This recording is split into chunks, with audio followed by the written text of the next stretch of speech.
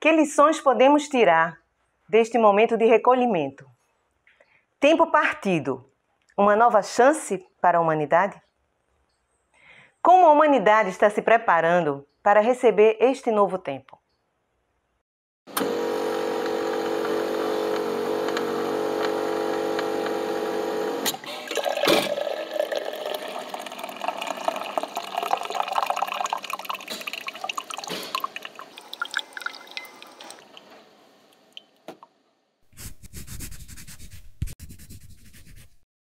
Olá, sou Tassiana Valença e este é mais um programa Conversando Perto de Casa na Cultura Nordestina. O livro em cena traz hoje Poesia em Tempos de Pandemia, da escritora, advogada e professora Ivanilde Moraes de Guzmão.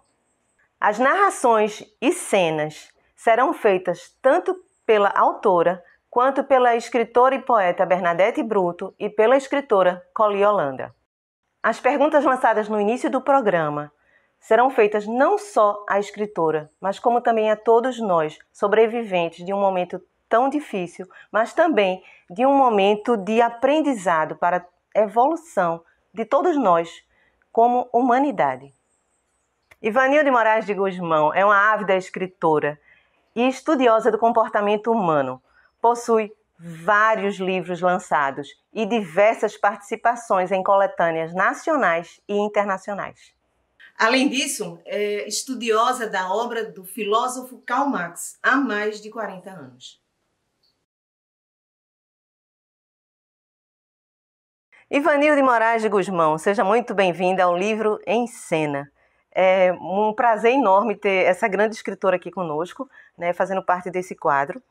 E a minha primeira pergunta para você: nesse momento de, de recolhimento, é, como você acha que isso interferiu, que vem interferindo no teu processo criativo? Você que escreve sempre, que escreve todo dia, que estuda todos os dias.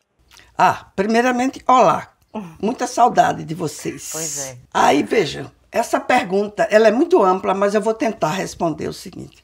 É um momento de recolhimento não só físico, mas da alma. Principalmente para as pessoas que gostam de estudar, de pensar, de pesquisar. E é um momento assim que todo mundo deve aproveitar para se humanizar, sobretudo com solidariedade e afeto.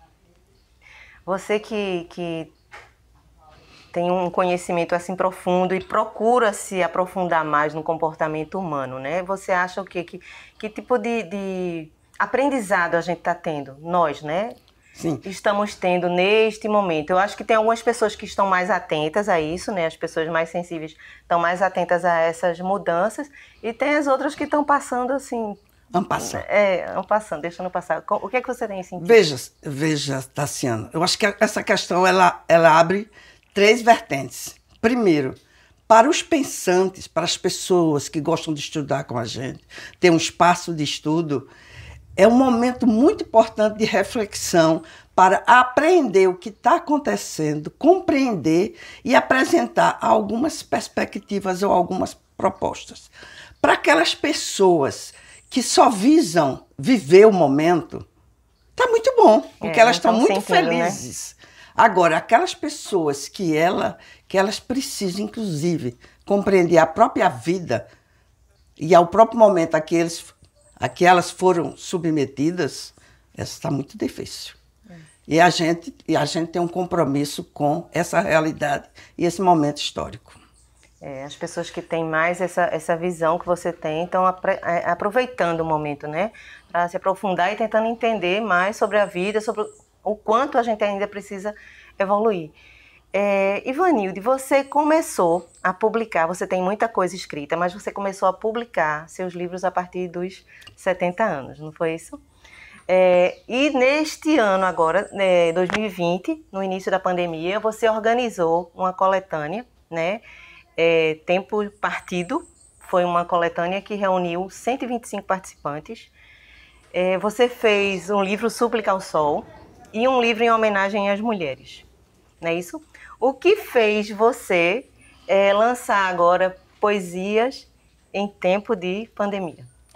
Olha, essa, esse momento ele foi tão importante para mim que eu fico assim até minha receosa de dizer que eu estou muito feliz, porque muitos anos de estudo, que eu sempre fui uma leitora voraz, mas olha, enquanto todo mundo sofre, eu sofro pelo que está acontecendo com o mundo, mas dentro de mim, dentro da minha humanidade, é um momento muito importante de humanização de mim própria. Então, o que é que, o que, é que aconteceu? Como eu já tenho muito material no computador, o meu computador parece uma mina de vários minerais, não é nem de um só. Aí então a ideia, a ideia de tempo partido foi logo no começo. Eu cheguei de uma viagem no dia 12 de março, no dia 13 eu não, já não pude sair de casa mais. Aí, então, no primeiro momento, eu fiquei assustada, mas depois eu comecei a perceber o movimento do universo e das pessoas e o comportamento. Aí, então, eu comecei a estudar. Aí tive essa ideia. Aí liguei para a Salete, que é a editora, e a de novo estilo, estilo, novo estilo. Aí eu disse, pensei, ela disse, genial, vamos fazer. Aí a gente, ela preparou o convite, né? A gente preparou junto e soltou na internet. Foi muito interessante porque não foi um, um, uma coletânea só para escritores, foi uma coletânea para sentir o momento pra, de várias pessoas. E isso foi patrocinado por ela mesma, por Ivanilde, e foi um, um, vai ser um registro, né? Um registro desse momento que foi no primeiro ano realmente da, da pandemia, né? Além disso, ela ainda fez, participou de várias coletâneas, né? Porque acho que acho que umas 40. Só nesse tempo de pandemia? Sim. Então, a produção desta escritora é, é, é muita. É, é ela tem muita coisa escrita já e está aproveitando esse momento também para editar, né? Publicar esse, hum. os seus livros também. Gente, vocês é, ficam muito encantados com uma escritora como essa porque ela não para. Ela estuda todos os dias, ela escreve todos os dias e é um prazer muito grande ter ela aqui para falar um pouco desse, desse livro, né? Eu sei que é muito pouco, né? É muita coisa para se falar sobre Ivanilde, mas a gente vai conhecer mais um pouquinho dela aos pouquinhos aqui no nosso programa. Eu só queria dizer uma coisa, posso? Pode. Quando você me chama de escritora, eu fico procurando na cabeça essa personalidade, essa personagem.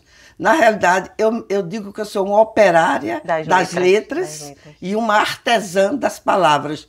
E estou tentando exatamente formar um quadro, uma teia, uma malha, onde todas as pessoas que acreditam na humanidade possam se unir para a gente tentar dar um rumo a, essa novo, a esse novo mundo que está vindo. Ele ainda não emergiu, né? Uhum. ele está sendo anunciado. É, pois é. É, e Ivanilda ela não gosta de ser chamada de escritora, como qualquer bom escritor também não gosta de ser chamada de escritora. Porque o escritor está sempre evoluindo, ele nunca vai estar tá pronto e ela nunca vai chegar aqui para dizer que é uma, uma escritora, mas ela é uma escritora estudiosa. Olha, e eu, eu, eu estou assim, só quero dizer da minha emoção e do meu prazer imenso de estar, pelo menos, retornando ao pois é. campo é. de batalha, que é o campo do estudo divulgado para todo mundo e com todo mundo.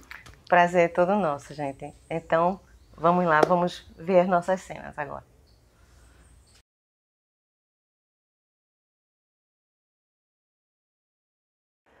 Estavas sempre a meu lado. Sorrias para mim quando tentava ler para ti, soletrando as palavras que tinha aprendido. Não se apresse, dizias, eras um grande incentivadora dos estudos, sempre a exigir dos filhos que estudassem. Mas fui a única que teve a oportunidade de escolher esse caminho, trilhando todas as etapas. O mais importante e significativo foi quando, de repente, percebi que podia escrever, não apenas relatórios, provas de aluno. Sabias que escolhi ser professora? Quando criança, faz muito tempo, gostava de ir na janela do seu quarto olhar o céu e se imaginava uma estrela iluminar a estrada que um dia sonhava em percorrer. Como seria essa caminhada?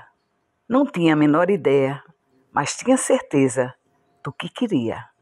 Mesmo que se transformasse num pássaro, viajaria pelos ares atravessando o infinito, sentindo o vento e algum momento pousaria lá longe, para além do horizonte. Assim, Depois de muito caminhar pela vida e pela história, quando já tinha quase 40 anos, começou a formar sua pequena biblioteca com prazer. Hoje, com quase 40 anos, tem praticamente todos os livros que gostaria de ler.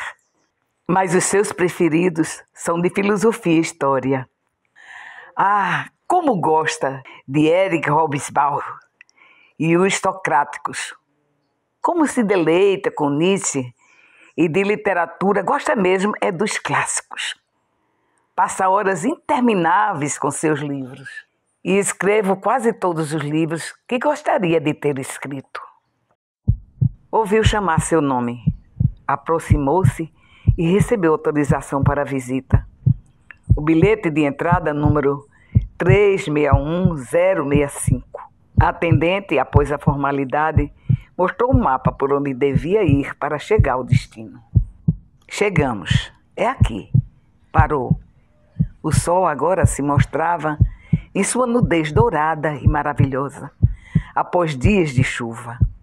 Trêmula e assustada, não ousava falar. Sua voz morria na garganta. É preciso ter coragem de produzir livros que falem de coisas belas, tornar a escrever palavras que falem de amor, voltar a acreditar na humanidade, deslumbrar-se com toda a beleza do mundo, com o trabalho que produz a farinha e o pão. Na longa caminhada, em termos de humanidade, ainda estamos na infância.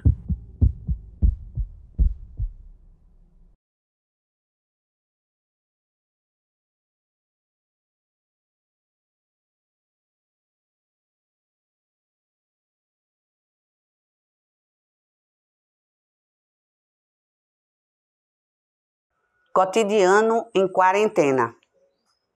O cotidiano me assusta. Assim é que me sinto atravessar o dia a dia nesse recolhimento, sabendo que os dias, como todos os dias, foram de expectativas e dores, à espera de amores carregados de dissabores. Mas quem sabe um dia trazendo tristeza, possa aumentar no dia sua grandeza e me fazer sentir a dor com leveza. Grandeza de vida, grandeza de sonhos, grandeza de tudo. O que já sou e o que já somos simplesmente náufragos da vida. Quem sabe da vida? Quem sabe da morte? Quem sabe dos sonhos? Quem sabe da sorte? Sei apenas que vivo. Viver nesse tempo de dor e medo sem saber o que virá amanhã. Sabe-se apenas que tudo se transformou em medo, sem sonhos, sem expectativa. Só o silêncio define uma dor que alcança a alma e marca todo o corpo. Só uma certeza entre a vida e a morte, a luta pela humanização.